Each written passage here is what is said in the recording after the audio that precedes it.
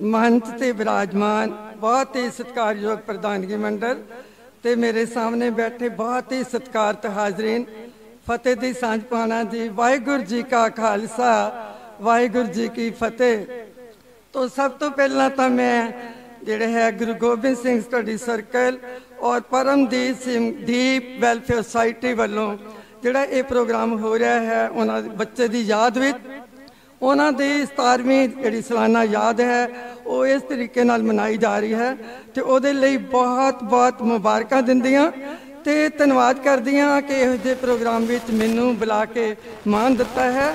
ਔਰ ਮੈਨੂੰ ਲੱਗ ਰਿਹਾ ਹੈ ਕਿ ਅੱਜ ਅਸੀਂ ਸ੍ਰੀ ਗੁਰੂ ਨਾਨਕ ਦੇਵ ਜੀ ਦੀ ਉੱਚੀ ਤੇ ਸੁੱਚੀ ਸੋਚ ਤੇ ਪਹਿਰਾ ਦੇ ਰਹੇ ਹਾਂ। ਉਹਨਾਂ ਨੇ ਕਿਹਾ ਹੈ ਕਿ ਜਬ ਲਗ ਦੁਨੀਆ ਰਹੀਏ ਨਾਨਕ, ਕਿਛ ਸੁਣੀਏ, ਕਿਛ ਕਹੀਏ। ਅਰਥਾਤ ਜਦ ਤੱਕ ਅਸੀਂ ਇਸ ਦੁਨੀਆ ਵਿੱਚ ਸਾਡਾ ਫਰਜ਼ ਬਣਦਾ ਹੈ ਕਿ ਅਸੀਂ ਦੂਸਰਿਆਂ ਦੀ ਗੱਲ ਸੁਣੀਏ, ਆਪਣੀ ਗੱਲ ਕਹੀਏ, ਕਿਉਂਕਿ ਕਹਿਣ ਤੇ ਸੁਣਨ ਦੇ ਨਾਲ ਵਿਚਾਰਾਂ ਦਾ ਆਦਾਨ ਪ੍ਰਦਾਨ ਹੁੰਦਾ ਹੈ। ਅਸੀਂ ਬਹੁਤ ਕੁਝ ਸੁਖਦੇ ਹਾਂ, ਆਪਸੀ ਸੰਵਾਦ ਹੁੰਦਾ ਹੈ ਵਿਚਾਰਾਂ ਦਾ। ਸੋ ਇਸ ਲਈ ਮੈਂ ਫਿਰ ਇੱਕ ਵਾਰੀ ਮੁਬਾਰਕਾਂ ਦਿੰਦੀ ਹਾਂ। ਔਰ ਡਾਕਟਰ ਹਰੀ ਸਿੰਘ ਜਾਚਕ ਜੀ ਦਾ ਵਿਸ਼ੇਸ਼ ਤੌਰ ਤੇ ਧੰਨਵਾਦ ਕਰਦੀ ਹਾਂ। ਜਿਨ੍ਹਾਂ ਨੇ ਮੈਨੂੰ ਹੁਣ ਵੀ ਮਾਣ ਦਿੱਤਾ ਹੈ, ਹਮੇਸ਼ਾ ਮਾਣ ਦਿੰਦੇ ਰਹਿੰਦੇ ਨੇ। ਸੋ ਬਹੁਤ ਬਹੁਤ ਤੁਹਾਡਾ ਸ਼ੁਕਰੀਆ। ਤੋ ਅੱਜ ਮੈਨੂੰ ਜਿਵੇਂ ਕਹਿਣ ਦਾ, ਮੈਂ ਕਿਹਾ ਕਿ ਕਹਿਣ ਦਾ ਮੌਕਾ ਵੀ ਮਿਲਦਾ ਹੈ। ਤੋ ਅੱਜ ਮੈਂ ਗਜ਼ਲ ਬਾਰੇ, ਕਿਉਂਕਿ ਮੈਂ ਪਿਛਲੇ 3 ਦਹਾਕਿਆਂ ਤੋਂ ਗਜ਼ਲ ਲਿਖ ਰਹੀ ਹਾਂ, ਔਰ ਜੋ ਮੈਨੂੰ ਮਹਿਸੂਸ ਹੁੰਦਾ ਹੈ, ਜੋ ਆਮ ਗੱਲਾਂ ਨੇ, ਉਹ ਮੈਂ ਕਰਾਂਗੀ। ਉਸ ਤੋਂ ਪਹਿਲਾਂ ਸਾਡੇ ਬਹੁਤ ਹੀ ਉਸਤਾਦ ਗਜ਼ਲ ਕੋ, ਜਿਹੜੇ ਬਹੁਤ ਲਾਇਕ ਨੇ, ਮਾਹਿਰ ਨੇ, ਉਹਨਾਂ ਨੇ ਅਰੂਜ਼ ਪਿੰਗਲ ਬਾਰੇ ਬਹੁਤ ਵਧੀਆ ਜਾਣਕਾਰੀ ਦਿੱਤੀ, ਔਰ ਮਨ ਮਸਤਕ ਰੁਸ਼ਨਾਨ ਵਾਲੇ ਜਿਹੜੀਆਂ ਉਹਨਾਂ ਨੇ ਗੱਲਾਂ ਕੀਤੀਆਂ, ਤੇ ਮੈਂ ਬਸ ਸਿੰਪਲ ਜੀਆਂ ਗੱਲਾਂ ਕਰਾਂਗੀ ਕਿ ਗਜ਼ਲ ਪਹਿਲਾਂ ਹੈ ਕੀ। ਤੋਂ ਗਜ਼ਲ ਸਾਹਿਤ ਦੀਆਂ ਵੱਖ-ਵੱਖ ਵੰਨਗੀਆਂ ਵਿੱਚੋਂ ਕਾਵ ਵੰਨਗੀ ਨਾਲ ਜੁੜੀ ਹੋਈ ਇੱਕ ਬਹੁਤ ਹੀ ਸੂਖਮ, ਕੋਮਲ, ਪਿਆਰੀ ਤੇ ਜਿਹੜੀ ਨਾਜ਼ੁਕ ਕਲਾ ਹੈ। ਇਹ ਕਲਾ ਜਿਹੜੀ ਹੈ ਦੁਨੀਆ ਦੇ ਕੋਈ ਵੀ ਕਾਵ ਰੂਪ ਜਿਹੜਾ ਹੈ, ਉਹਦੇ ਤੋਂ ਇੱਕ ਵਿਲੱਖਣ ਕਲਾ ਹੈ, ਵਿਲੱਖਣ ਵਿਦਾ ਹੈ। ਵਿਲੱਖਣ ਵਿਦਾ ਇਸ ਕਰਕੇ ਹੈ ਕਿਉਂਕਿ ਇਸ ਦੇ ਸ਼ੇਰਾਂ ਵਿਚਲੀ ਸਾਂਝ ਤੇ ਅਸਾਂਝ ਸਾਨੂੰ ਬਾਕੀ ਕਾਵ ਰੂਪਾਂ ਤੋਂ ਵੱਖ ਕਰਦੀ ਹੈ। ਕਿਉਂਕਿ ਦੁਨੀਆ ਵਿੱਚ ਕੋਈ ਵੀ ਇਹੋ ਜਿਹਾ ਕਾਵ ਰੂਪ ਨਹੀਂ, ਜਿਹਦੇ ਵਿੱਚ ਇੱਕੋ ਹੀ ਸਮੇਂ ਖੰਡਿਤ ਅਤੇ ਖੰਡਤਾ ਕਾਇਮ ਹੋਵੇ। ਔਰ ਜਿਵੇਂ ਖੰਡ ਦੀ ਗੱਲ ਕਰਦੀਆਂ, ਸਾਂਝ ਦੀ ਗੱਲ ਕਰਦੀਆਂ, ਜਦੋਂ ਅਸੀਂ ਕੋਈ ਗਜ਼ਲ ਲਿਖਦੇ ਹਾਂ, ਅਗਰ ਪੰਜ ਸ਼ੇਰ ਹੋ ਜਾਂਦੇ ਨੇ, ਉਹਨਾਂ ਦੀ ਜਿਹੜੀ ਸਾਂਝ ਇੱਕ ਗਜ਼ਲ ਬਣ ਜਾਂਦੀ ਹੈ।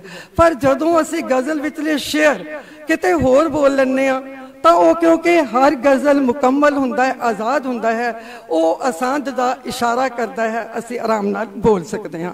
ਸੋ ਇਹ ਜਿਹੜੀ ਸਾਂਝ ਅਸਾਂਝ ਹੈ ਇਹ ਗਜ਼ਲ ਨੂੰ ਵੱਖਰਾ ਕਰਦੀ ਹੈ ਔਰ ਸਾਡੇ ਵਿੱਚ ਗਜ਼ਲ ਵਿਧਾਨ ਦੀ ਜਿਵੇਂ ਗੱਲ ਹੋਈ, ਗਜ਼ਲ ਵਿਧਾਨ ਦੇ ਵਿੱਚ ਸਾਡੇ ਕੋਲ ਬਹੁਤ ਸਾਰੇ ਜਿਹੜੇ ਨੇ ਅਰੂਸ ਪਿੰਗਲ ਦੀ ਜਿਵੇਂ ਗੱਲ ਕੀਤੀ ਹੈ, ਜਿਵੇਂ ਹਰ ਭਾਸ਼ਾ ਦੇ ਵਿੱਚ ਵਿਆਕਰਨ ਹੁੰਦੀ ਹੈ। ਅਸੀਂ ਵਿਆਕਰਨ ਦੇ ਮੁਤਾਬਕ ਚੱਲਦੇ ਹਾਂ, ਇਵੇਂ ਗਜ਼ਲ ਲਿਖਣ ਦੇ ਵਿੱਚ ਵੀ ਗਜ਼ਲ ਵਿਧਾਨ ਹੈ। ਜਿਹਦੇ ਮੁਤਾਬਕ ਸਾਨੂੰ ਬੰਦਸ਼ਾਂ ਵਿੱਚ ਰਹਿਣਾ ਪੈਂਦਾ ਹੈ। ਜਿਵੇਂ ਅਨੁਸ਼ਾਸਨ ਵਿੱਚ ਆਪਾਂ ਰਹਿ ਕੇ ਬਹੁਤ ਕੁਝ ਪ੍ਰਾਪਤ ਕਰ ਲੈਂਦੇ ਆ ਸਾਡੀ ਸ੍ਰਿਸ਼ਟੀ ਅਨੁਸ਼ਾਸਨ ਵਿੱਚ ਚੱਲ ਰਹੀ ਹੈ। ਕੁਦਰਤ ਅਨੁਸ਼ਾਸਨ ਵਿੱਚ ਚੱਲ ਰਹੀ ਹੈ। ਅੱਜ ਜੋ ਕੁਝ ਹੋ ਰਿਹਾ ਸਭ ਅਨੁਸ਼ਾਸਨ 'ਚ ਹੈ। ਪਰ ਜੋ ਕੁਝ ਗਲਤ ਹੁੰਦਾ, ਉਹ ਸਾਡੀ ਗਲਤੀਆਂ ਕਰਕੇ ਹੋ ਰਿਹਾ। ਸੋ ਅਨੁਸ਼ਾਸਨ ਵਿੱਚ ਰਹਿਣਾ ਜਾਂ ਗਜ਼ਲ ਵਿਧਾਨ ਜਾਂ ਵਿਆਕਰਨ ਅੰਦਰ ਰਹਿਣਾ, ਸਾਡੀ ਜਿਹੜੀ ਜੋ ਵੀ ਅਸੀਂ ਲਿਖਦੇ ਹਾਂ, ਉਹਦੇ ਵਿੱਚ ਬਹੁਤ ਸੰਗੀਤ ਵੀ ਆਉਂਦਾ ਹੈ, ਸੁਰ ਵੀ ਆਉਂਦਾ ਹੈ, ਲੈ ਵੀ ਆਉਂਦੀ ਹੈ।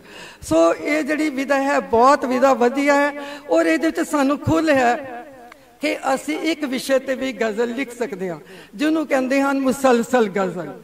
ਅਤੇ ਅਸੀਂ ਮਤਲਬ ਜਿੰਨੇ ਮਰਜ਼ੀ ਵਿਸ਼ੇ ਲੈ ਲਈਏ, ਜਿੰਨੇ ਸ਼ੇਅਰ ਹੋਣੇ ਆ ਵਿਸ਼ੇ, ਕਿਉਂਕਿ ਹਰ ਵਿਸ਼ਾ ਮੁਕੰਮਲ ਹੈ, ਆਜ਼ਾਦ ਹੈ, ਅਸੀਂ ਵੱਖ-ਵੱਖ ਵਿਸ਼ੇ ਵੀ ਲੈ ਸਕਦੇ ਹਾਂ। ਸੋ ਜਿੱਥੋਂ ਤੱਕ ਗਜ਼ਲ ਦਾ ਪਹਿਲਾ ਹੈ ਸ਼ੇਅਰ ਹੁੰਦਾ ਹੈ। ਜਿਹਦੇ ਵਿੱਚ ਉੱਪਰ ਵੀ ਰਦੀਫ ਹੋਵੇ, ਨੀਚੇ ਵੀ ਰਦੀਫ ਹੋਵੇ, ਉਹ ਗਜ਼ਲ ਦਾ ਮਤਲਬ ਹੁੰਦਾ ਹੈ। ਔਰ ਅਖੀਰ ਦੇ ਵਿੱਚ ਜਦੋਂ ਕੋਈ ਕਵੀ ਆਪਣਾ ਸ਼ਾਇਰ ਆਪਣੇ ਅਖੀਰਲੇ ਸ਼ੇਰ ਦੇ ਵਿੱਚ ਜੇ ਉਹ ਆਪਣਾ ਨਾਮ, ਆਪਣਾ ਉਪਨਾਮ ਜਾਂ ਉਹਨੇ ਕੋਈ ਤਖੱਲਸ ਰੱਖਿਆ ਹੋਇਆ ਹੈ, ਅਗਰ ਉਹ ਤਖੱਲਸ, ਨਾਮ, ਉਪਨਾਮ ਅਖੀਰਲੇ ਸ਼ੇਰ ਵਿੱਚ ਦਰਜ ਕਰ ਦਿੰਦਾ ਹੈ, ਤਾਂ ਉਸ ਨੂੰ ਕਹਿੰਦੇ ਹਨ ਮਕਤਾ।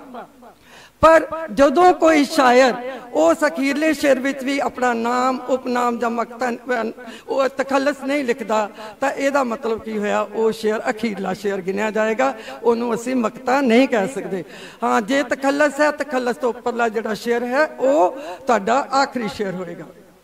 ਇਸੇ ਤਰ੍ਹਾਂ ਜੇ ਗਜ਼ਲ ਦੇ ਇਤਿਹਾਸ ਵੱਲ ਜਾ- ਝਾਤ ਮਾਰੀਏ, ਤਾਂ ਮਨੂਲ ਰੂਪ ਜਿਹੜੀ ਗਜ਼ਲ ਹੈ, ਉਹ ਅਰਬੀ ਭਾਸ਼ਾ ਦਾ ਇੱਕ ਸ਼ਬਦ ਹੈ, ਗਜ਼ਲ ਅਰਬੀ ਭਾਸ਼ਾ ਦਾ ਸ਼ਬਦ ਹੈ ਔਰ ਇਸ ਦੀ ਜਿਹੜੀ ਸ਼ੁਰੂਆਤ ਹੈ ਖਲੀਲ ਬਿਨ ਅਹਿਮਦ ਨੇ ਜਿਹੜੀ ਕੀਤੀ ਹੈ। ਉਹਨਾਂ ਨੇ ਇਹ ਗੱਲ ਜਿਹੜੀ ਸੀ ਉਹ ਲਿਆਂਦੀ, ਸੋ ਕੀਤਾ ਉਹਨਾਂ ਨੇ 15 12 ਵਿੱਚ ਸਿਰ ਦੀਆਂ। ਸੋ ਸਭ ਤੋਂ ਪਹਿਲਾਂ ਜਿਹੜੀ ਗਜ਼ਲ ਸੀ 7ਵੀਂ ਸਦੀ ਵਿੱਚ ਉਹ ਸ਼ੁਰੂ ਹੋਈ ਔਰ ਜਿਸ ਦਾ ਮੋਢੀ ਸ਼ਾਇਰ ਜਮੀਲ ਜੀ ਸਨ। ਜਦੋਂ ਗਜ਼ਲ ਦੀ ਸ਼ੁਰੂਆਤ 7ਵੀਂ ਸਦੀ ਵਿੱਚ ਹੋਈ ਹੈ ਤਾਂ ਜਿਹੜਾ ਮੋਢੀ ਸਨ ਸਾਡੇ, ਉਹ ਸਨ ਸ਼ਾਇਰ ਜਮੀਲ ਜੀ। ਉਸ ਤੋਂ ਬਾਅਦ ਗਜ਼ਲ ਫਾਰਸੀ ਵਿੱਚ ਵੀ ਲਿਖੀ ਜਾਣ ਲੱਗੀ ਅਰਬੀ ਵਿੱਚ ਵੀ ਲਿਖੀ ਜਾਣ ਲੱਗੀ। ਫਾਰਸੀ ਤੇ ਅਰਬੀ ਤੋਂ ਬਾਅਦ ਪਸ਼ਤੋ ਦੇ ਸ਼ਾਇਰਾਂ ਨੇ ਗਜ਼ਲ ਵਿੱਚ ਬਹੁਤ ਦਿਲਚਸਪੀ ਦਿਖਾਈ। ਉਸ ਤੋਂ ਬਾਅਦ ਜਿਹੜਾ ਆਪਾਂ ਪੰਜਾਬੀ ਗਜ਼ਲ ਦੀ ਗੱਲ ਕਰੀਏ ਤਾਂ ਪੰਜਾਬੀ ਗਜ਼ਲ ਦੇ ਜਿਹੜੇ ਮੋਢੀ ਹੋਏ ਹਨ ਉਹ ਸ਼ਾਹ ਮੁਰਾਦ ਜੀ ਹਨ। ਔਰ ਸ਼ਾਹ ਮੁਰਾਦ ਜੀ ਦੇਖੋ ਉਹਨਾਂ ਦੀ ਜਿਹੜੀ ਮੌਤ ਹੈ 1702 ਵਿੱਚ ਹੋਈ ਹੈ। ਜਦੋਂ ਉਰਦੂ ਦੀ ਗਜ਼ਲ ਕਾ- ਦੀ ਗੱਲ ਕਰਦੇ ਹਾਂ ਤਾਂ ਉਹਨਾਂ ਦੇ ਮੋਢੀ ਨੇ ਵਲੀ ਅ, ਦਕਨੀ ਜੀ ਉਹਨਾਂ ਦੀ ਫੌਤ ਜਿਹੜੀ ਹੈ ਉਹ 1724 ਚ ਹੋਈ ਹੈ। ਤੋਂ ਇਹਨਾਂ ਤੱਥਾਂ ਦੇ ਆਧਾਰ ਤੇ ਇਹ ਕਿਹਾ ਗਿਆ ਹੈ ਕਿ ਜਿਹੜੀ ਗਜ਼ਲ ਹੈ, ਪੰਜਾਬੀ ਗਜ਼ਲ, ਉਹ ਅਰਬੀ ਅਤੇ ਫਾਰਸੀ ਤੋਂ ਬਾਅਦ ਪਰ ਉਰਦੂ ਤੋਂ ਪਹਿਲਾਂ ਲਿਖੀ ਗਈ ਹੈ। ਕਈ ਜਿਹੜਾ ਇਹ ਹੁਣ ਤੱਕ ਕਹਿੰਦੇ ਰਹੇ ਕਿ ਉਰਦੂ ਜਿਹੜੀ ਹੈ, ਉਹ ਉਹਦੇ ਚ ਗਜ਼ਲ ਪਹਿਲਾਂ ਲਿਖੀ ਗਈ ਨਹੀਂ। ਜਿਹੜੀ ਪੰਜਾਬੀ ਗਜ਼ਲ ਹੈ, ਉਰਦੂ ਗਜ਼ਲ ਤੋਂ ਪਹਿਲਾਂ ਲਿਖੀ ਗਈ ਹੈ।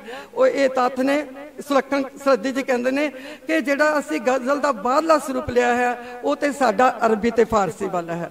ਪਰ ਜੇ ਅਸੀਂ ਆਪਣੀ ਪੰਜਾਬੀ ਗਜ਼ਲ ਦੀ ਗੱਲ ਕਰੀਏ, ਤਾਂ ਇਹਦਾ ਜਿਹੜਾ ਮੁੱਢ ਬੰਦਾ ਹੈ, ਉਹ ਬੰਦਾ ਸਾਡੀ ਭਾਰਤੀ ਸ਼ਲੋਕ ਪਰੰਪਰਾਵਾਂ ਤੇ। ਜਿਵੇਂ ਉਹਨਾਂ ਨੇ ਵੀ ਗੱਲ ਕੀਤੀ ਕਿ ਮਹਾਤਮਾ ਬੁੱਧ ਦੀਆਂ ਜਿਹੜੀਆਂ ਵੀ ਸਿੱਖਿਆਵਾਂ ਨੇ, ਉਹਨਾਂ ਪ੍ਰਤੀ ਜਿੰਨੇ ਵੀ ਸ਼ਲੋਕ ਆਏ ਨੇ, ਉਹ ਸਾਰੇ ਸਾਰੇ ਪੰਜਾਬੀ ਗਜ਼ਲ ਵੱਲ ਇਸ਼ਾਰਾ ਕਰਦੇ ਹਨ। ਇਸੇ ਤਰ੍ਹਾਂ ਸਾਡੇ ਸ਼ੇ- ਬਾਬਾ ਸ਼ੇਖ ਫਰੀਦ ਜੀ ਹਨ, ਉਹਨਾਂ ਦੇ ਵੀ ਜਿੰਨੇ ਸ਼ਲੋਕ ਹਨ, ਉਹ ਵੀ ਗਜ਼ਲ ਵੱਲ ਇਸ਼ਾਰਾ ਕਰਦੇ ਹਨ। ਸਾਡੇ ਕੋਲ ਸ੍ਰੀ ਗੁਰੂ ਗ੍ਰੰਥ ਸਾਹਿਬ ਜੀ ਨੇ, ਜਿਹੜੇ ਵਿੱਚ ਜਿੰਨੇ ਵੀ ਸ਼ਲੋਕ ਨੇ, ਉਹ ਸਾਡੇ ਇਸ ਗਜ਼ਲ ਦੇ ਹੀ ਵੱਲ, ਇਹਨਾਂ ਇਹੋ ਜਿਹੇ ਸ਼ੇਰਾਂ ਵਾਲੀ ਇਸ਼ਾਰਾ ਕਰਦੇ ਹਨ। ਔਰ ਇਸ ਤੋਂ ਸਾਨੂੰ ਸਮਝਣਾ ਚਾਹੀਦਾ ਕਿ ਸਾਡੀ ਜਿਹੜੀ ਪੰਜਾਬੀ ਗਜ਼ਲ ਹੈ, ਉਹ ਬਹੁਤ ਅਮੀਰ ਹੈ, ਬਹੁਤ ਹੀ ਇਹ ਰਿਗਵੈਦ ਨਾਲ ਵੀ ਜੁੜੀ ਹੋਈ ਹੈ। ਔਰ ਜਦੋਂ ਅਸੀਂ ਪੰਜਾਬੀ, ਲਹਿੰਦੇ ਪੰਜਾਬ ਦੀ ਗੱਲ ਕਰਦੇ ਹਾਂ, ਤਾਂ ਉੱਥੇ ਜਿੰਨੇ ਵੀ ਗਜ਼ਲ ਚਿੰਤਕ ਨੇ ਪਾਕਿਸਤਾਨ ਤੇ ਰਹਿੰਦੇ, ਉਹ ਹਮੇਸ਼ਾ ਹੀ ਉਹ ਬਾਬਾ ਫਰੀਦ ਜੀ ਨੂੰ ਗਜ਼ਲ ਦਾ ਪਹਿਲਾ ਮੋਢੀ ਮੰਨਦੇ ਹਨ ਜਦੋਂ ਆਪਾਂ ਗਜ਼ਲ ਦੇ ਸ਼ਬਦ ਦੀ ਗੱਲ ਕਰਦੇ ਹਾਂ ਕਿ ਇਹ ਗਜ਼ਲ ਜਿਹੜਾ ਆਮ ਪ੍ਰਚਲਿਤ ਅਰਥ ਰਿਹਾ ਹੈ, ਉਹਦਾ ਹੈ ਕਿ ਔਰਤ ਨਾਲ ਗੱਲਾਂ ਕਰਨੀਆਂ, ਔਰਤ ਬਾਰੇ ਗੱਲਾਂ ਕਰਨੀਆਂ, ਔਰਤ ਦੇ ਹੁਸਨ ਦੀ ਗੱਲ, ਔਰਤ ਦੇ ਰੰਗ ਰੂਪ ਦੀ ਗੱਲ। ਪਰ ਜਿਹੜੀ ਇੱਕ ਦੂਜਾ ਅਰਥ ਇਹ ਵੀ ਸੀ ਕਿ ਜਿਹੜਾ ਗਜ਼ਲ ਹੈ, ਉਹ ਗਜ਼ਾਲਾ ਸ਼ਬਦ ਤੋਂ ਲਿਆ ਗਿਆ ਹੈ, ਹਿਰਨੀ ਹਿਰਨ ਜਦੋਂ ਹਿਰਨ ਦੇ ਜਾਂ ਹਿਰਨੀ ਦੇ, ਉਹਦੇ ਵਿੱਚ ਜੰਗਲਾਂ ਦੇ ਵਿੱਚ ਜਦੋਂ ਝਾੜੀਆਂ ਦੇ ਵਿੱਚ ਉਹਦਾ ਸਿਰ ਫਸ ਜਾਂਦਾ ਹੈ, ਤਾਂ ਉਹ ਇਹਦੇ ਇੱਕ ਜਦੋਂ ਜੰਗਲ ਵਿੱਚ ਉਹਦਾ ਸਿਰ ਫਸਦਾ ਹੈ, ਤਾਂ ਇੱਕਦਮ ਉਹਦੇ ਚੋਂ ਜਿਹੜੀ ਆਹ ਦੀ ਆਵਾਜ਼ ਆਉਂਦੀ ਹੈ। ਸੋ ਜਿਹੜੀ ਗਜ਼ਲ ਹੈ, ਅੱਜ ਦੀ ਗਜ਼ਲ ਜੋ, ਉਹ ਗਜ਼ਲ ਸਭ ਕੁਝ ਪਿੱਛੇ ਛੱਡ ਆਈ ਹੈ। ਪੰਜਾਬੀ ਗਜ਼ਲ ਦੇ ਵਿੱਚ ਉਹ ਪੰਜਾਬੀ ਸੱਭਿਆਚਾਰ ਨੂੰ ਅਪਣਾ ਕੇ ਪੰਜਾਬਣ ਬਣ ਚੁੱਕੀ ਹੈ। ਉਸ ਨੇ ਪੰਜਾਬੀ ਦੇ ਜੀ ਕਿ ਪੂਰੇ ਵਿਸ਼ਵ ਵਿਆਪਕ ਜਿਹੜੇ ਵਰਤਾਰਿਆਂ ਨੂੰ ਚੋਗਰ ਦੇ ਵਿੱਚ ਜੋ ਸਾਡੇ ਵਿੱਚ ਗਲਤ ਵਾਪਰਿਆ ਹੈ, ਜੋ ਸਾਡੀਆਂ ਵਿਸੰਗਤੀਆਂ ਹਨ, ਸਾਡੀਆਂ ਮੁਸ਼ਕਲਾਂ ਹਨ, ਸਾਡੀਆਂ ਸਰਚਾ ਮੁਸ਼- ਮੁਸ਼ਕਲਾਂ ਹਨ ਸਾਡੀਆਂ ਮਜਬੂਰੀਆਂ ਹਨ, ਸਾਡੀਆਂ ਜੋ ਵੀ ਚੁਣੌਤੀਆਂ ਹਨ, ਉਹਨਾਂ ਸਭ ਨੂੰ ਜਿਹੜੀ ਗਜ਼ਲ ਹੈ, ਉਹ ਆਪਣੇ ਕਲਾਵੇ 'ਚ ਅੱਜ ਲੈ ਰਹੀ ਹੈ। ਇਸ ਕਰਕੇ ਅੱਜ ਦੀ ਗਜ਼ਲ ਜਿਹੜੀ ਹੈ, ਉਹ ਸਿਰਫ ਤੇ ਸਿਰਫ ਨਿੱਧ ਤੱਕ ਨਹੀਂ ਰਹੀ। ਉਹ ਨਿੱਧ ਤੋਂ ਪਰ ਦੀ ਉਡਾਨ ਭਰਦੀ ਹੈ ਔਰ ਉਹ ਇਸ ਅਰਥ ਨੂੰ ਭੁੱਲ ਚੁੱਕੀ ਹੈ, ਉਹ ਸਮਝਦੀ ਹੈ ਕਿ ਔਰ ਵੀ ਗਮ ਹੈ ਜ਼ਮਾਨੇ ਕੇ ਮੁਹੱਬਤ ਕੇ ਸਵਾ तो ਮੁਹੱਬਤ ਕੱਲੀ ਜਿਹੜੀ ਉਹ ਨਹੀਂ ਹੈ, ਪਰ ਮੁਹੱਬਤ ਇੱਕ ਆਧਾਰ ਹੈ। ਮੁਹੱਬਤ ਜਿਹੜੀ ਸਾਡੇ ਆਤਮ ਜਗਤ ਵਿੱਚ ਮੁਹੱਬਤ ਵੀ ਹੈ, ਨੇਕੀ ਵੀ ਹੈ। ਔਰ ਇਹ ਗਜ਼ਲ ਜਿਹੜੀ ਸਾਡੀ ਆਤਮ ਜਗਤ ਦੀ ਨੇਕੀ ਤੇ ਮੁਹੱਬਤ ਨੂੰ ਅਨਾਤਮ ਜਗਤ ਨਾਲ ਜੋੜਦੀ ਹੈ। ਅਨਾਤਮ ਜਗਤ ਦਾ ਮਤਲਬ ਆਲੇ ਦੁਆਲੇ ਜੋ ਕੁਝ ਵਾਪਰ ਰਿਹਾ ਹੈ, ਉਹ ਇਹ ਗਜ਼ਲ ਸਾਨੂੰ ਉਸ ਵੱਲ ਲਿਜਾਂਦੀ ਹੈ। ਥੋੜੇ ਸ਼ਬਦਾਂ ਜਿਵੇਂ ਕੁਝੇ ਵਿੱਚ ਸਮੁੰਦਰ ਭਰਨਾ, ਗਾਗਰ ਵਿੱਚ ਸਾਗਰ ਭਰਨਾ। ਸੋ ਇਹ ਇੱਕ ਬਹੁਤ ਵੱਡੀ ਖੂਬੀ ਹੈ। ਦੂਜੀ ਹੈ ਕਿ ਅਸੀਂ ਜਿਵੇਂ ਮੈਂ ਪਹਿਲਾਂ ਵੀ ਕਿਹਾ ਹੈ ਕਿ ਅਸੀਂ ਸਿਰਫ ਇੱਕ ਵਿਸ਼ੇ ਬਾਰੇ ਜੇ ਗੱਲ ਕਰਨੀ ਹੋਵੇ ਤਾਂ ਆਪਾਂ ਇੱਕ ਵਿਸ਼ੇ ਬਾਰੇ ਵੀ ਗੱਲ ਕਰ ਲੈਂਦੇ ਹਾਂ। ਪਰ ਅਸੀਂ ਵੱਧ ਤੋਂ ਵੱਧ ਸ਼ੇਅਰ ਵਿੱਚ ਵਿਸ਼ੇ ਲੈ ਲੈਂਦੇ ਆ ਸ਼ੇਅਰ ਲਿਖਦੇ ਆ ਸੋ ਜਿਹੜੀ ਅੱਜ ਦੀ ਗਜ਼ਲ ਹੈ, ਉਹ ਕਈ ਵਿਸ਼ਿਆਂ ਦੀ ਇਹਦੇ ਵਿੱਚ ਸ਼ਮੂਲਤ ਹੈ ਔਰ ਇਹ ਵੀ ਸਾਡੇ ਲਈ ਬਹੁਤ ਵੱਡੀ ਗੱਲ ਹੈ। ਉਸ ਤੋਂ ਬਾਅਦ ਸਾਡੇ ਕੋਮਲ ਤੇ ਸੂਖਮ ਅਹਿਸਾਸ, ਉਹ ਅਸੀਂ ਗਜ਼ਲਾਂ ਦੇ ਵਿੱਚ ਬਹੁਤ ਬਾਖੂਬੀ ਜਿਹੜੇ ਨੇ, ਉਹ ਪੇਸ਼ ਕਰ ਸਕਦੇ ਹਾਂ ਤੇ ਇਸੇ ਤਰ੍ਹਾਂ ਸਾਡੇ ਵੰਨ ਸਵੰਨੇ ਅਹਿਸਾਸ ਨੇ, ਜਿਵੇਂ ਅਲੰਕਾਰਾਂ ਦੀ ਵਰਤੋਂ। ਅਲੰਕਾਰਾਂ ਦੀ ਵਰਤੋਂ ਬਹੁਤ ਖੂਬੀ ਨਾਲ ਹੋ ਸਕਦੀ ਹੈ। ਮੇਰਾ ਇੱਕ ਸ਼ੇਰ ਹੈ, ਛੱਡ ਦੇ ਕੋਚਰ ਕਹਿਣਾ। ਪੱਥਰ ਕੁੜੀਆਂ ਨੂੰ। ਛੱਡ ਦੇ ਕੋਚਰ ਕਹਿਣਾ, ਪੱਥਰ ਕੁੜੀਆਂ ਨੂੰ ਕਹਿ ਕੇ ਗੀਤ ਰੁਬਾਈ ਗਜ਼ਲ ਬੁਲਾਇਆ ਕਰ। ਛੱਡ ਦੇ ਕੋਚਰ ਕਹਿਣਾ, ਪੱਥਰ ਕੁੜੀਆਂ ਨੂੰ ਕਹਿ ਕੇ ਗੀਤ ਰੁਬਾਈ ਗਜ਼ਲ ਬੁਲਾਇਆ ਕਰ। ਫੁੱਲ ਤੇ ਕਲੀਆਂ ਦੋਵੇਂ ਮਹਿਕਾਂ ਵੰਡਦੇ ਨੇ। ਫੁੱਲ ਤੇ ਕਲੀਆਂ ਦੋਵੇਂ ਮਹਿਕਾਂ ਵੰਡਦੇ ਨੇ। ਦੋ ਦੀ ਹੀ ਕਦਰ ਬਰਾਬਰ ਪਾਇਆ ਕਰ। ਦੀ ਹੀ ਕਦਰ ਬਰਾਬਰ ਪਾਇਆ। ਤੋ ਉੱਤੇ ਫੁੱਲ ਤੇ ਕਲੀਆਂ ਜਿਹੜੇ ਨੇ ਉਹ ਜਲੇ ਹਨ। ਫੁੱਲ ਮੁੰਡਿਆਂ ਲਈ, ਬੱਚਿਆਂ ਲਈ ਤੇ ਕਲੀਆਂ ਕੁੜੀਆਂ ਲਈ ਵਰਤਿਆ ਹੈ। ਇਸੇ ਤਰ੍ਹਾਂ ਅਸੀਂ ਜਿਹੜੇ ਨੇ ਮੁਹਾਵਰਿਆਂ ਦੀ ਵਰਤੋਂ ਵੀ ਜਿਹੜੀ ਇੱਕ ਗਜ਼ਲ ਦੀ ਬਹੁਤ ਵੱਡੀ ਖੂਬੀ ਹੈ ਕਿ ਮੁਹਾਵਰਿਆਂ ਦੀ ਵਰਤੋਂ ਬੜੀ ਵਧੀਆ ਹੋ ਸਕਦੀ ਹੈ। ਜਿਵੇਂ ਮੇਰਾ ਇੱਕ ਸ਼ੇਰ ਹੈ ਪਾ ਸਕਦਾ ਸਾਰੀ ਗੱਲ ਤੇ ਮਿੱਟੀ ਪਾ। ਪਾ ਸਕਦਾ ਤਾਂ ਸਾਰੀ ਗੱਲ ਤੇ ਮਿੱਟੀ ਪਾ ਕੇ ਹਵਾ ਨਾ ਭਾਂਬੜ ਵਾਂਗ ਮਚਾਇਆ ਕਰ। ਤੋ ਇਹਦੇ ਵਿੱਚ ਦੋ ਸ਼ੇਰ ਆ ਗਏ, ਮਿੱਟੀ ਪਾ ਔਰ ਹਵਾ ਦੇਣਾ। ਤੋ ਇਹ ਜਿਹੜੀ ਗਜ਼ਲ ਦੀ ਖੂਬੀਅਤ ਹੁੰਦੀ ਹੈ ਕਿ ਆਪਾਂ ਦੋ ਦੋ ਜਿਹੜੇ ਨੇ, ਉਹ ਵੀ ਮੁਹਾਵਰੇ ਵਿੱਚ ਪਾ ਸਕਦੇ ਹਾਂ ਔਰ ਬਹੁਤ ਸਾਰੇ ਮੇਰੇ ਸ਼ੇਰ ਨੇ, ਜਿਹਦੇ ਵਿੱਚ ਮੈਂ ਦੋ ਦੋ ਮੁਹਾਵਰੇ ਵਰਤੇ ਹੋਏ ਨੇ। ਸੋ ਇੱਕ ਤੰਜ਼ ਕਰਨਾ ਸਮਾਜ ਵਿੱਚ ਗਲਤ ਹੋ ਰਿਹਾ ਹੈ, ਉਹਦੇ ਤੇ ਵਿਅੰਗ ਕੱਸਣਾ, ਇਹ ਵੀ ਦੀ ਕਿਸੇ ਵੀ ਕਵਿਤਾ ਦੀ ਖੂਬੀ ਗਿਣੀ ਜਾਂਦੀ ਹੈ। ਕਿਉਂਕਿ ਗਜ਼ਲ ਮੈਂ ਪਹਿਲਾਂ ਵੀ ਕਿਹਾ, ਕਵਿਤਾ ਦੀ ਇੱਕ ਵੰਨਗੀ ਹੈ ਔਰ ਇਹਦੇ ਮਤਲਬ ਜਦੋਂ ਕੋਈ ਤੰਜ਼ ਕਰਦਾ ਹੈ, ਉਹ ਵਿੱਚ ਦਾ ਗਜ਼ਲ ਵਿੱਚ ਤਾਂ ਇੱਕ ਬਹੁਤ ਵੱਡੀ ਸੱਟ ਵੱਜਦੀ ਹੈ। ਤਾਂ ਇਹਦੇ ਵਿੱਚ ਮੈਂ ਲਿਖਿਆ ਸੀ ਕਿ ਲਾਰੇ ਲੱਪੇ ਲਾਉਣੇ ਹੁਣ ਤਾਂ ਛੱਡ ਦੇ ਤੂੰ। ਲਾਰੇ ਲੱਪੇ ਲਾਉਣੇ ਹੁਣ ਤਾਂ ਛੱਡ ਦੇ ਤੂੰ। ਇਹ ਤੇਰਾ ਕੰਮ ਹੁਣ ਸਾਡੀ ਸਰਕਾਰ ਕਰੇ। ਜਦੋਂ ਸਰਕਾਰ ਲਾਰੇ ਲੱਪੇ ਲਾਉਂਦੀਆਂ ਨੇ ਤਾਂ ਇੱਕ ਪੰਥ ਦੋ ਕਾਜ ਦੇ ਕਰਕੇ ਅਸੀਂ ਇਸ ਤਰ੍ਹਾਂ ਕਰ ਸਕਦੇ ਹਾਂ। ਤੋਂ ਅਗਲੀ ਗੱਲ ਜਿਹੜੀ ਗਜ਼ਲ ਦੀ ਖੂਬੀ ਹੈ ਕਿ ਐਂਕਰ। ਜਿਹੜਾ ਐਂਕਰ ਮੰਚ ਸੰਚਾਲਨ ਕਰ ਰਿਹਾ ਹੁੰਦਾ ਹੈ, ਉਹ ਬਹੁਤ ਹੀ ਖੂਬੀ ਨਾਲ ਜਦੋਂ ਢੁਕਵੇਂ ਸ਼ੇਅਰ ਵਰਤਦਾ ਹੈ ਆਪਣੀ ਐਂਕਰਿੰਗ ਕਰਨ ਦੇ ਵਿੱਚ, ਉਹਦਾ ਪ੍ਰਭਾਵ ਹੋਰ ਵਧੀਆ ਪੈਂਦਾ ਹੈ। ਤੇ ਗੱਲ ਆ ਗਈ ਹੁਣ ਅਗਲੀ ਪਾਰਲੀਮੈਂਟ ਤੇ ਸੰਸਦ ਵਿੱਚ। ਦੇਖੋ, ਤੁਸੀਂ ਕਈ ਵਾਰੀ ਸੁਣਿਆ ਹੋਵੇਗਾ ਕਿ ਪਾਰਲੀਮੈਂਟ ਸੰਸਦ ਵਿੱਚ ਜਦੋਂ ਹਾਕਮੀ ਤੇ ਵਿਰੋਧੀ ਤੇ ਆਪਸ ਵਿੱਚ ਬਹੁਤ ਬਹਿਸ ਕਰ ਰਹੀ ਹੁੰਦੀ ਹੈ। ਵਾਰਤਕ ਵਿੱਚ ਬਹੁਤ ਬਹਿਸ ਹੁੰਦੀ ਹੈ, ਪਰ ਕਈ ਵਾਰੀ ਵਿਰੋਧੀ ਧਿਰ ਵੱਲੋਂ ਇੱਕ ਸ਼ੇਰ, ਸਿਰਫ ਇੱਕ ਸ਼ੇਰ ਜਦੋਂ ਬੋਲਦਾ ਹੈ, ਤਾਂ ਹਾਕਮ ਧਿਰ ਦੀ ਜਿਹੜੀ ਉਸ ਵੇਲੇ ਬੋਲਤੀ ਬੰਦ ਹੋ ਜਾਂਦੀ ਹੈ। ਸੋ ਇਸ ਬਹੁਤ ਵਧੀਆ ਜਿਹੜਾ ਸਾਡਾ ਗਜ਼ਲ ਦਾ ਪੱਖ ਹੈ, ਜਦੋਂ ਸਾਰੇ ਸ਼ੇਰਾਂ ਦੇ ਵਿੱਚ ਕਾਫੀਆਂ ਤੋਂ ਬਾਅਦ ਰਦੀਪ ਆ ਰਹੇ ਹੋਣ, ਤਾਂ ਉਹਨੂੰ ਕਹਿੰਦੇ ਨੇ ਮਤਲਿਆਂ ਵਾਲੀ ਗਜ਼ਲ। ਉਹਨੂੰ ਇਹ ਨਹੀਂ ਕਹਿੰਦੇ ਕਿ ਆ ਇੱਕ ਹੋਰ ਮਤਲਾ ਸਾਨੀ, ਇੱਕ ਹੋਰ ਮਤਲਾ ਸਾਨੀ, ਇੱਕ ਹੋਰ ਮਤਲਾ ਸਾਨੀ। ਉਹਦੇ ਬਜਾਏ ਜ਼ਿਕਰ ਸਾਰਿਆਂ ਤੇ ਰਦੀਫ ਆ ਗਿਆ, ਕੋਈ ਮਿਸਰਾ ਜਿਹੜਾ ਰਦੀਫ ਤੋਂ ਖਾਲੀ ਨਹੀਂ ਹੈ, ਚਾਹੇ ਉੱਪਰਲਾ ਚਾਹੇ ਨੀਚੇ, ਉਹ ਮਤਲਿਆਂ ਵਾਲੀ ਗਜ਼ਲ ਹੁੰਦੀ ਹੈ। ਇਸੇ ਤਰ੍ਹਾਂ ਸਾਡਾ ਇੱਕ ਦੋਰੀਆ ਕਾਫੀਆ ਗਜ਼ਲ ਹੈ, ਜਿਹਦੇ ਵਿੱਚ ਅਸੀਂ ਗਜ਼ਲ ਦੇ ਵਿੱਚ ਦੋ ਦੋ ਕਾਫੀਏ ਵਰਤਦੇ ਹਾਂ। ਔਰ ਦੋ ਦੋ ਕਾਫੀਏ ਵਰਤ ਕੇ ਅਸੀਂ ਕਰਦੇ ਹਾਂ, ਤਾਂ ਇਹਦੇ ਵਿੱਚ ਜਿਹੜੀ ਮੈਂ ਤੁਹਾਨੂੰ ਦੱਸਾਂਗੀ ਕਿ ਮੇਰੇ ਕੋਲ ਬਹੁਤ ਹੀ ਸਾਡੇ ਉਸਤਾਦ ਗਜ਼ਲ ਗੋ ਅਮਰਜੀਤ ਸਿੰਘ ਸੰਧੂ ਦਾ ਸ਼ੇਅਰ ਹੈ। ਕਿ ਜੀ ਕਰਦਾ ਏ ਇਸ ਦੁਨੀਆ ਤੋਂ, ਮੈਂ ਕਿਧਰੇ ਉੱਡ ਜਾਵਾਂ, ਮੁੜ ਨਾ ਆਵਾਂ। ਜੀ ਕਰਦਾ ਏ ਇਸ ਦੁਨੀਆ ਤੋਂ, ਮੈਂ ਕਿਧਰੇ ਉੱਡ ਜਾਵਾਂ, ਮੁੜ ਨਾ ਆਵਾਂ। ਇਸ ਦੁਨੀਆ ਤੋਂ ਕੀ ਘਟਿਆ ਏ, ਮੇਰੇ ਦਿਲ ਦੇ ਚਾਵਾਂ ਹੌਕੇ ਹਾਵਾਂ। ਤੋ ਉੱਪਰਲੇ ਸ਼ੇਰ ਵਿੱਚ ਜਾਵਾਂ, ਆਵਾਂ। ਤੇ ਨੀਚਲੇ ਸ਼ੇਰ ਵਿੱਚ ਵੀ ਆ ਗਿਆ ਕਿ ਚਾਵਾਂ ਤੇ ਹਾਵਾਂ। ਸੋ ਇਸ ਤਰ੍ਹਾਂ ਦੀ ਜਿਹੜੀ ਇਹ ਗਜ਼ਲ ਹੈ, ਇਹ ਸਾਡੀ ਹੈ ਦੋਰਾ ਕਾਫੀਆ ਗਜ਼ਲ। ਉਸ ਤੋਂ ਅੱਗੇ ਸਾਡੀ ਇੱਕ ਜੰਜੀਰਦਾਰ ਗਜ਼ਲ ਹੁੰਦੀ ਹੈ। ਜੰਜੀਰਦਾਰ ਗਜ਼ਲ ਦੇ ਵਿੱਚ ਅਸੀਂ ਜਿਹੜੇ ਨੇ, ਉਹ ਮਿਸਰਿਆਂ ਦੇ ਵਿੱਚ, ਜੇਕਰ ਤਾਂ ਦੋਨੋਂ ਮਿਸਰਿਆਂ ਚ ਆ ਗਏ ਫਿਰ ਤੇ ਸੋਨੇ ਤੇ ਸੁਹਾਗਾ ਹੈ। ਪਰ ਅਗਰ ਇੱਕ ਮਿਸਰੇ ਦੇ ਵਿੱਚ ਵੀ ਤੁਹਾਡੇ ਜਿਹੜੇ ਨੇ ਟੁਕੜਿਆਂ 'ਚ ਸ਼ਬਦ ਆ ਰਹੇ ਨੇ, ਜਿੱਥੇ ਉਹ ਜਮਾ ਤੇ ਜੋ ਕਰਕੇ ਜਿਹੜੇ ਨੇ, ਉਹਦੇ ਵਿੱਚ ਉਹ ਵਾਅਦਾ ਕਰਦੇ ਨੇ, ਉਹਨੂੰ ਤਕਸੀਮ ਕਹਿੰਦੇ ਨੇ, ਜਿਹੜੇ ਸ਼ਬਦਾਂ ਨੂੰ ਆਪਾਂ ਟੁਕੜਿਆਂ 'ਚ ਬਦਲ ਦਿੰਨੇ ਆ ਜਿੱਥੇ ਉਹ ਤਕਸੀਮ ਅਲੰਕਾਰ ਦੀ ਗੱਲ ਕਰਦੇ ਨੇ ਉੱਥੇ ਉੱਥੇ ਉਹ ਜੰਜੀਰਦਾਰ ਗਜ਼ਲ ਵੀ ਬਣ ਜਾਂਦੀ ਹੈ। ਜਿਵੇਂ ਆਪਣਾ ਸ਼ੇਰ ਹੈ, ਕਦੇ ਤੀਦੋ ਕਦੇ ਰਾਂਝਾ, ਕਦੇ ਆਸ਼ਕ, ਕਦੇ ਜੋਗੀ। ਇਹ ਸਾਰੇ ਟੁਕੜੀਆਂ ਚਾਹੇ ਜਿੱਥੇ ਅਲੰਕਾਰ ਦੀ ਗੱਲ ਹੋ ਗਈ, ਅਲੰਕਾਰ ਵਿੱਚ ਵਾਧਾ ਕੀਤਾ, ਗਿਣਿਆ ਗਿਆ। ਜੇ ਅਗਲੇ ਸ਼ੇਰ ਵਿੱਚ ਵੀ ਆ ਗਏ, ਤਾਂ ਉਹ ਜੰਜੀਰਦਾਰ ਗਜ਼ਲ ਹੋ ਗਈ। ਇਸ ਤੋਂ ਬਾਅਦ ਇੱਕ ਤਜ਼ਮੀਨ ਗਜ਼ਲ ਹੈ।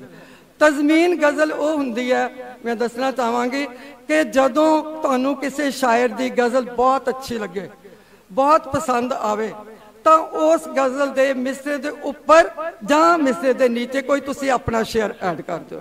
ਆਪਣਾ ਸ਼ੇਅਰ ਸ਼ੇਅਰ ਜਮ੍ਹਾਂ ਕਰ ਦਿਓ। ਕਾਫੀਆ ਗਜ਼ਲ ਹੁੰਦੀ ਹੈ, ਜੋ ਕਾਫੀਆ ਦੇ ਵਿੱਚ ਚਾਰ ਜਿਹੜੇ ਨੇ, ਉਹ ਕਾਫੀ ਹੁੰਦੇ ਹਨ। ਮੈਂ ਲੋਕੇਟ ਕਰ ਰਹੀ ਸੀ, ਪਰ ਮੈਨੂੰ ਡਾਇਰੀ ਤੇ ਲਿਖਿਆ ਉਹ ਲੱਭਿਆ ਨਹੀਂ। ਤਾਂ ਇਸ ਤਰ੍ਹਾਂ ਬਿਨ ਮਤਲਾ ਗਜ਼ਲ ਹੈ। ਬਿਨ ਮਤਲਾ ਗਜ਼ਲ ਦਾ ਮਤਲਬ ਤੁਹਾਡਾ ਮਤਲਾ ਉੱਪਰ ਜਿਹੜਾ ਵੇ, ਪਹਿਲਾ ਜਿਵੇਂ ਮਤਲੇ ਦੇ ਵਿੱਚ ਆਪਾਂ ਉੱਪਰ ਵੀ ਰਦੀਫ ਯੂਜ਼ ਕਰਦੇ ਹਾਂ, ਨੀਚੇ ਵੀ ਕਰਦੇ ਹਾਂ, ਉਹ ਗਾਇਬ ਹੁੰਦਾ ਔਰ ਕਈ ਵਾਰੀ ਸ਼ਾਇਰ ਨੂੰ ਆਪਣਾ ਉੱਪਰ ਮਤਲਾ ਬਣਾਉਣਾ ਲੱਭਦਾ ਹੀ ਨਹੀਂ, ਉਹ ਸ਼ੇਅਰ ਹੀ ਲਿਖ ਦਿੰਦਾ ਹੈ। ਉਹ ਬਿਨ ਮਤਲਾ ਗਜ਼ਲ ਹੋ ਜਾਂਦੀ ਹੈ। ਸ਼ੇਅਰ ਲਿਖ ਕੇ ਚਾਰ ਪੰਜ ਸ਼ੇਅਰ ਪਾ ਦੇ, ਉੱਪਰ ਮਤਲਾ ਨਹੀਂ ਵੀ ਲਿਖਿਆ ਕੋਈ ਗੱਲ ਨਹੀਂ, ਕਿਉਂਕਿ ਮਤਲਾ ਕਈ ਵਾਰੀ ਤੁਹਾਡੇ ਦਿਮਾਗ 'ਚ ਨਹੀਂ ਆ ਰਿਹਾ ਹੁੰਦਾ, ਤਾਂ ਉਹ ਬਿਨ ਮਤਲਾ ਸ਼ੇਅਰ ਬਣ ਜਾਂਦੀ ਹੈ। ਉਸ ਨੂੰ ਕੋਈ ਇਹ ਨਹੀਂ ਕਹਿ ਸਕਦਾ ਕਿ ਗਜ਼ਲ ਨਹੀਂ ਹੈ। ਇਸੇ ਤਰ੍ਹਾਂ ਹੀ ਕਹੇਗੀ ਸਹਿ ਗਜ਼ਲ। ਸਹਿ ਗਜ਼ਲ ਦੇ ਵਿੱਚ ਮੈਂ ਦੱਸਣਾ ਚਾਹਾਂਗੀ ਕਿ ਇਹਦੇ ਵਿੱਚ ਜਰੂਰਤ ਕਾਫੀਆ ਦੀ ਵਰਤੋਂ ਹੁੰਦੀ ਹੈ ਗਜ਼ਲ ਵਿੱਚ। ਜਰੂਰਤ ਕਾਫੀਏ ਜਿਹੜੇ ਨੇ, ਜਿਵੇਂ ਆਪਾਂ ਦੋ ਇੱਕੋ ਜਿਹੇ ਨਾਲ ਨਾਲ ਕਰ ਦਈਏ। ਮੈਂ ਇੱਕ ਵਾਰੀ ਹਰਦੁਆਰ ਗਈ ਸੀ, ਤਾਂ ਉੱਥੇ ਮੈਂ ਦੇਖਿਆ ਕਿ ਕੁਝ ਫੁੱਲ ਜਿਹੜੇ ਨੇ, ਉਹ ਤਰ ਕੇ ਆ ਰਹੇ ਨੇ। ਗੰਗਾ ਦੇ ਕਿਨਾਰੇ ਮੈਂ ਖੜੀਆਂ ਔਰ ਫੁੱਲ ਤਰ ਕੇ ਆ ਰਹੇ ਨੇ, ਤਾਂ ਉਹ ਇੱਕ ਸ਼ੇਰ ਲਿਖਿਆ ਗਿਆ ਕਿ ਮੇਰੇ ਕੋਲ ਆਏ ਨੇ ਫੁੱਲ ਤਰਦੇ ਤਰਦੇ। ਹੁਣ ਉਸ ਵੇਲੇ ਫੁੱਲ ਦੇਖਿਆ, ਜਿਹੜਾ ਗੰਗਾ ਦਾ ਪਾਣੀ ਹੈ, ਉਹ ਇੱਕ ਕਿਸਮ ਦਾ ਮੈਨੂੰ ਗਲੀਚਾ ਲੱਗਿਆ। ਮੈਨੂੰ ਨਦੀ ਲੱਗੀ, ਨਦੀ ਦਾ ਗਲੀਚਾ ਲੱਗਿਆ, ਗੰਗਾ ਨਦੀ ਤਾਂ ਹੈ ਹੀ ਹੈ, ਪਰ ਉਹ ਇੱਕ ਗਲੀਚਾ ਲੱਗਿਆ ਪਾਣੀ। ਤੋਂ ਸ਼ੇਰ ਲਿਖਿਆ ਗਿਆ, ਮੇਰੇ ਕੋਲ ਆਏ ਨੇ ਫੁੱਲ ਤਰਦੇ ਤਰਦੇ। ਮੇਰੇ ਕੋਲ ਆਏ ਨੇ ਫੁੱਲ ਤਰਦੇ ਤਰਦੇ ਨਦੀ ਦੇ ਗਲੀਚੇ ਤੇ ਪੱਬ ਤਰਦੇ ਤਰਦੇ। ਤੋ ਤਰਦੇ ਤਰਦੇ ਤੇ ਤਰਦੇ ਤਰਦੇ। ਇਹ ਜਿਹੜਾ ਸਾਡਾ ਹੈ, ਇਹ ਸਾਡੇ ਉਹ ਆ ਗਿਆ ਸੈਗਜ਼ਲਾ ਜਿਹਦੇ ਵਿੱਚ ਅਸੀਂ ਜ਼ਰੂਰਤ ਬਦਲੇ ਨੇ। ਜਾਨੀ ਕਿ ਨਾਲ ਨਾਲ ਤਰਦੇ ਤਰਦੇ ਤਰਤੇ ਤਰਦੇ ਤਰਦੇ ਤਰਦੇ, ਡਰਦੇ ਡਰਦੇ, ਮਰਦੇ ਮਰਦੇ, ਜਦੋਂ ਅਸੀਂ ਇਦਾਂ ਯੂਜ਼ ਕਰਦੇ ਹਾਂ, ਤੇ ਇਸ ਨੂੰ ਆਪਾਂ ਸਹਿ ਗਜ਼ਲਾ ਕਹਿੰਦੇ ਹਾਂ। ਤੇ ਮੁਸਲਸਲ ਗਜ਼ਲ, ਜਿਵੇਂ ਮੈਂ ਪਹਿਲਾਂ ਹੀ ਦੱਸਿਆ ਕਿ ਮੁਸਲਸਲ ਗਜ਼ਲ ਵਿੱਚ ਅਸੀਂ ਇੱਕ ਸ਼ੇਅਰ ਜਿਹੜਾ ਇੱਕ ਵਿਸ਼ੇ ਤੇ ਹੀ ਲਿਖ ਸਕਦੇ ਹਾਂ। ਸੋ ਗਜ਼ਲ ਦੀਆਂ ਬੈਰਾਂ ਦੀ ਗੱਲ ਕਰਦੇ ਹਾਂ। ਕਿਉਂਕਿ ਗਜ਼ਲ ਦੀਆਂ ਬੈਰਾਂ ਦੀ ਗੱਲ ਸੁਲੱਖਣ ਸਰਦੀ ਜੀ ਨੇ ਵੀ ਕੀਤੀ ਹੈ। ਤੋ ਬੈਰਾਂ ਜਿਹੜੀਆਂ ਨੇ, ਇਹ ਮੁੱਖ ਰੂਪ ਚ 19 ਹੀ ਬੈਰਾਂ ਨੇ। ਪਰ 19 ਬੈਰਾਂ ਦੇ ਵਿੱਚੋਂ ਜਿਹੜੀਆਂ ਤਿੰਨ ਬੈਰਾਂ ਨੇ, ਉਹ ਜਿਹੜੇ ਨੇ ਅਸੀਂ ਨਹੀਂ ਵਰਤ ਵਰਤੋਂ ਚ ਲਿਆ ਰਹੇ, ਭਾਰਤੀ ਜਿਹੜੇ ਸ਼ਾਇਰ ਨੇ। ਤੇ ਜਿਹੜੀਆਂ ਉਹਨਾਂ ਚੋਂ 19 ਦੇ ਵਿੱਚੋਂ ਤਕਰੀਬ 16 ਵਰਤੀਆਂ ਜਾ ਰਹੀਆਂ ਨੇ ਔਰ ਇਹਨਾਂ 16 ਦੇ ਵਿੱਚੋਂ ਜਿਹੜੀਆਂ ਤਿੰਨ ਜਿਹੜੀਆਂ 19 ਦੇ ਵਿੱਚ ਤਿੰਨ ਜਿਹੜੀਆਂ ਨੇ ਜਿਹੜੀਆਂ ਨਹੀਂ ਵਰਤ ਰਹੇ, ਪਰ 15 ਜਿਹੜੀਆਂ ਗਜ਼ਲਾਂ ਨੇ, ਉਹ ਮੈਂ ਪਹਿਲਾਂ ਵੀ ਕਿਹਾ, ਖਲੀਲ ਬਿਨ ਅਹਿਮਦ ਜੀ, ਜਿਨ੍ਹਾਂ ਨੇ ਜਿਨ੍ਹਾਂ ਨੇ ਗਜ਼ਲ ਦਾ ਸ਼ਬਦ ਲਿਆਂਦਾ, ਉਹਨਾਂ ਨੇ ਇਜਾਦ ਕੀਤੀਆਂ, ਉਸ ਤੋਂ ਬਾਅਦ ਹੋਰ ਜਿਹੜੇ ਗਜ਼ਲਾਂ ਆਈਆਂ, ਤੋਂ ਬੈਰਾਂ ਜਿਹੜੀਆਂ ਨੇ, ਆਮ ਤੌਰ ਤੇ ਆਪਾਂ ਜਿਹੜੀਆਂ ਇਹ ਵਰਤ ਰਹੇ ਹਾਂ, ਹਜ਼ਜ਼ ਬੈਰ ਹੈ, ਰਜ਼ਜ਼ ਹੈ, ਰਮਲ ਹੈ, ਮੁਦਾਰਿਕ ਹੈ, ਮੁਤਕਾਰਬ ਹੈ, ਮੁਜ਼ਾਰਿਆ ਹੈ, ਕਾਮਿਲ, ਤਮੀਲ, ਔਰ ਤਵੀਲ, ਮਦੀਦ ਵਸੀਤ ਵਾਫਰ, ਖਬੀਬ ਇਸੇ ਤਰ੍ਹਾਂ ਮਨਸਰਿਆ, ਮੁਜੱਤਸ, ਸਰੀ ਜਦੀਦ, ਕਰੀਬ ਔਰ ਮੁਕਤਜ਼ਿਬ ਤੇ ਮੁਸ਼ਾਕਿਲ। ਤੋਂ ਇਹ ਬੈਰਾਂ ਜਿਹੜੀਆਂ ਨੇ ਸਾਡੇ ਕੋਲ ਨੇ। ਪਰ ਜਿਵੇਂ ਪਹਿਲਾਂ ਵੀ ਕਿ ਦੱਸਿਆ ਕਿ ਅਸੀਂ ਸਾਡੇ ਕੋਲ ਇੰਨਾ ਵਧੀਆ ਗੁਣ ਹੈ। ਇਹਦੇ ਜਿਹੜੇ ਅਰੂਜ਼ ਨੇ, ਰੁਕਾਨ ਨੇ, ਅਰਕਾਨ ਨੇ ਉਹ ਇੱਕ ਜਦੋਂ ਅਸੀਂ ਜ਼ਿਆਫਾਂ ਦੀ ਵਿਗਿਆਨਕ ਢੰਗ ਨਾਲ ਇਹਦੇ ਵਿਆਕਰਨਿਕ ਵਿਗਿਆਨਕ ਢੰਗ ਨਾਲ ਕਾਂਟ ਚਾਂਟ ਕਰਕੇ, ਕਾਂਟ ਛਾਂਟ ਕਰਨ ਦੇ ਨਾਲ ਨਵੀਆਂ ਬੈਰਾਂ ਜਿਹੜੀਆਂ ਆ ਰਹੀਆਂ ਨੇ ਔਰ ਇਹ ਵੀ ਦੇਖਿਆ ਕਿ 402 ਬੈਰਾਂ ਜਿਹੜੀਆਂ ਨੇ, ਉਹ ਬਹੁਤ ਸਾਰੇ ਜਿਹੜੇ ਲੋਕ ਵਰਤਣ ਲੱਗ ਗਏ ਨੇ, ਪਰ ਉਹ ਵਿਰਲਾ ਵਿਰਲਾ ਨੇ, ਜਿਵੇਂ ਇੱਕ ਕਿਸੇ ਨੇ ਵਰਤੀ ਉਹਨੇ ਦੱਸਿਆ ਨਹੀਂ। ਤਾਂ ਇਸ ਤੋਂ ਪਰ ਫਿਰ ਵੀ ਜਦੋਂ ਰਿਸਰਚ ਹੋਈ ਪਤਾ ਲੱਗਿਆ ਤੇ ਕ੍ਰਿਸ਼ਨ ਪਨੋਟ ਜੀ ਨੇ ਕੈਨੇਡਾ ਤੋਂ, ਉਹ ਕਹਿੰਦੇ ਨੇ 409 ਜਿਹੜੀਆਂ ਇਦਾਂ ਦੇ ਆ ਗਈਆਂ ਨੇ ਕਾਂਟ ਹੁਣ ਜਿਵੇਂ ਮੈਂ ਆਪਣੀ ਉਦਾਹਰਨ ਇੱਕ ਦੇਣਾ ਚਾਹਾਂਗੀ ਕਿ ਮੈਂ ਲਿਖਿਆ ਸੀ ਜੇ ਜਾਤਾਂ ਪਾਤਾਂ ਨੂੰ ਛੱਡ ਕੇ ਉਹਨੇ ਕੀਤੀ ਮੁਹੱਬਤ ਹੈ, ਬੁਰਾ ਕੀਏ ਜੇ ਜਾਤਾਂ ਪਾਤਾਂ ਨੂੰ ਛੱਡ ਕੇ ਉਹਨੇ ਕੀਤੀ ਮੁਹੱਬਤ ਹੈ, ਬੁਰਾ ਕੀਏ ਗਲਤ ਰੀਤਾਂ ਨੂੰ ਤੋੜਨ ਦੀ ਕਿਸੇ ਕੀਤੀ ਜੇ ਜ਼ਰੂਰਤ ਹੈ, ਬੁਰਾ ਕੀਏ ਤਾਂ ਹੁਣ ਇਹ ਬੈਰ ਤੇ ਹਾਜ਼ਰ ਹੈ। ਉਹਦੇ ਵਿੱਚ ਚਾਰ ਮੁਸਮ ਸਾਲਮ ਚਾਹੀਦੇ ਨੇ। ਪਰ ਮੈਂ ਪੰਜਵਾਂ ਲੈ ਆਈ। ਤਾਂ ਮੈਂ ਜਦੋਂ ਹੁਣ ਮੈਂ ਰੱਖਿਆ ਇਸ ਤਰਸੇਮ ਜੀ ਨੇ ਉਸ ਨੂੰ ਬਹੁਤ ਸਲਾਇਆ ਕਿ ਸਾਲਵੇਂ ਦੀ ਬਜਾਏ ਸਵਾਈ ਹੋ ਗਈ। ਉਹਦੇ ਨਾਲ ਇਹ ਹਿੰਦੀ ਚ ਹੋਈ ਮੇਰੀ ਗਜ਼ਲ। ਔਰ ਹਿੰਦੀ ਦੇ ਵਿੱਚ ਇੱਕ ਸ਼ਾਇਰਾ ਜਿਹੜੀ ਹੈ, ਬੜੀ ਅੱਛੀ ਗਾਇਕਾ ਹੈ, ਉਹ ਗਾ ਰਹੀ ਹੈ। ਸੋ ਗੱਲ ਇਹ ਹੁੰਦੀ ਹੈ ਕਿ ਜਦੋਂ ਤੁਸੀਂ ਲਿਖਦੇ ਹੋ, ਤੁਹਾਡਾ ਆਮਦ ਦਾ ਸ਼ੇਅਰ ਹੋਣਾ ਚਾਹੀਦਾ ਹੈ। ਜਦੋਂ ਤੁਸੀਂ ਮੈਂ ਕਦੇ ਵੀ ਨਹੀਂ ਤੁਹਾਨੂੰ ਕਵਾਂਗੀ ਕਿ ਬਹਿਰਾਂ ਯਾਦ ਕਰੋ। ਬਹਿਰਾਂ ਯਾਦ ਜਦੋਂ ਬਹਿਰਾਂ ਦੇ ਨਾਂ ਸੁਣਦੇ ਹੋ, ਇੱਕਦਮ ਡਰ ਜਾਂਦੇ ਆ, ਇੰਨਾ ਬਹਿਰਾ ਕੌਣ ਦੇਖੇ, ਕੌਣ ਸੁਣੇ? ਪਰ ਜਦੋਂ ਬਹਿਰਾਂ ਦੇ ਵਜ਼ਨ ਤੁਹਾਡੇ ਜ਼ਿਹਨ 'ਚ ਵਸ ਜਾਂਦੇ ਨੇ, ਤੁਸੀਂ ਉਹ ਬਹਿਰਾਂ ਉਹ ਤੁਹਾਡੇ ਗੁਣ ਗੁਣਾਉਂਦੇ ਰਹਿੰਦੇ ਹੋ, ਤਾਂ ਤੁਹਾਡੀ ਮੈਂ ਯਕੀਨ ਨਾਲ ਕਹਿੰਦੀ ਆ ਕਿ ਤੁਹਾਡਾ ਜਿਹੜਾ ਸ਼ੇਰ ਹੋਏਗਾ, ਉਹ ਆਮਦ ਦਾ ਸ਼ੇਰ ਹੋਏਗਾ।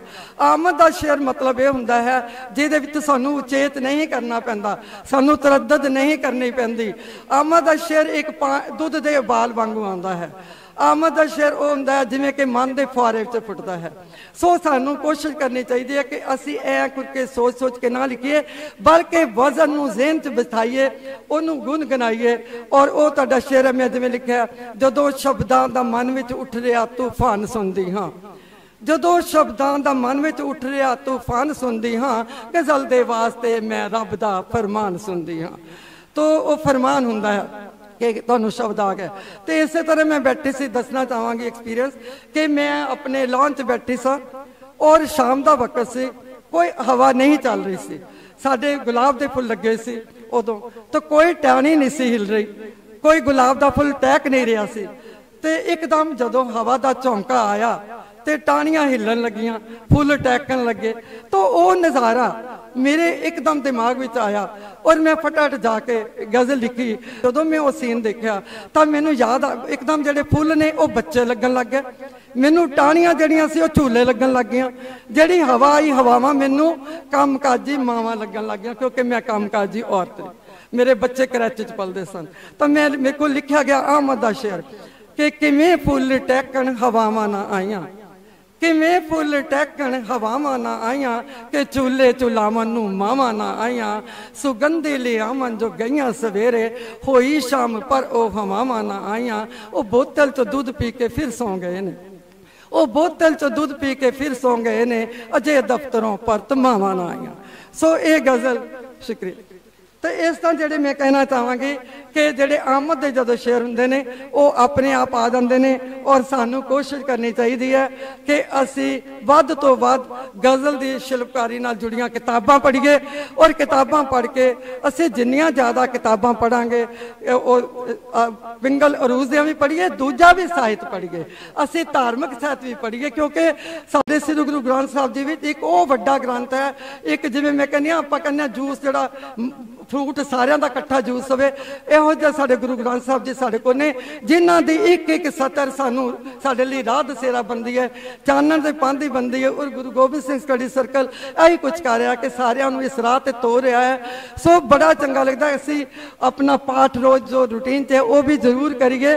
ਔਰ ਵੱਧ ਤੋਂ ਵੱਧ ਧਾਰਮਿਕ ਕਿਤਾਬਾਂ ਵੀ ਪੜ੍ਹੀਏ, ਸਾਹਿਤਕ ਕਿਤਾਬਾਂ ਵੀ ਪੜ੍ਹੀਏ ਕਿਉਂਕਿ ਕਿਤਾਬਾਂ ਇੱਕ ਉਹ ਗਿਆਨ ਦਾ ਭੰਡਾਰ ਹਨ, ਜੋ ਸਾਨੂੰ ਗਿਆਨਤਾ ਵੱਲ ਕਦੇ ਵੀ ਨਹੀਂ ਜਾਣ ਦਿੰਦੀਆਂ। ਸੋ ਤੁਸੀਂ ਆਏ ਔਰ ਬਹੁਤ ਵਧੀਆ ਕੀਤਾ, ਬਹੁਤ ਕੁਝ ਮੈਂ ਸਿੱਖ ਕੇ ਜਾ ਰਹੀ ਹਾਂ ਇੱਥੋਂ ਤੇ ਹਾਲੇ ਵੀ ਬੈਠਾਂਗੇ, ਸਿੱਖਾਂਗੇ ਤੇ ਬਹੁਤ ਅੱਛਾ ਲੱਗਿਆ। ਮੈਂ ਫਿਰ ਧੰਨਵਾਦ ਕਰਦੀ ਹਾਂ ਗੁਰੂ ਗੋਬਿੰਦ ਸਿੰਘ ਸਟੱਡੀ ਸਰਕਲ ਦੇ ਸਾਰੇ ਪ੍ਰਬੰਧਕਾਂ ਨੂੰ, ਉਹਨਾਂ ਦੇ ਜਿਹੜੀ ਹੈਗੀ ਕਾਰਜਕਾਰੀ ਕਮੇਟੀ ਦੀ, ਕਾਰਜਕਾਰੀ ਕਮੇਟੀ ਦੀ, ਜੋ ਵੀ ਇਹਨਾਂ ਦੇ ਆਪਣਾ ਸ਼ਾਹ ਸਵਾਰ ਨੇ, ਇਹਨੂੰ ਚਲਾ ਰਹੇ ਨੇ, ਉਹਨਾਂ ਨੂੰ ਮੈਂ ਸਲਾਮ ਕਰਦੀ ਹਾਂ ਔਰ ਡਾਕਟਰ ਹਰੀ ਸਿੰਘ ਜਾਚਕ ਜੀ ਨੂੰ ਵਿਸ਼ੇਸ਼ ਤੌਰ ਤੇ ਫਿਰ ਧੰਨਵਾਦ ਕਰਦੀ ਹਾਂ ਕਿ ਉਹਨਾਂ ਨੇ ਮੈਨੂੰ ਮੌਕਾ ਦਿੱਤਾ। ਬਹੁਤ ਬਹੁਤ ਸ਼ੁਕਰੀਆ। ਵਾਹਿਗੁਰੂ ਜੀ ਕਾ ਖਾਲਸਾ। ਵਾਹਿਗੁਰੂ